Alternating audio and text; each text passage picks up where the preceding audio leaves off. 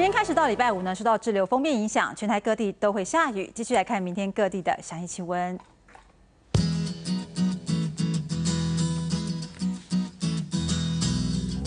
北部地区最低温二十五度，最高温二十九度，降雨几率是在百分之五十到百分之七十。中部地区呢，天气也是不稳定的情形，都会下雨，最低温二十五度，最高温三十度。南部地区最低温二十五度，最高温三十二度，多云转降雨的情形。东部地区最低温二十五度，最高温三十三度。欧岛地区最低温二十度，最高温二十九度。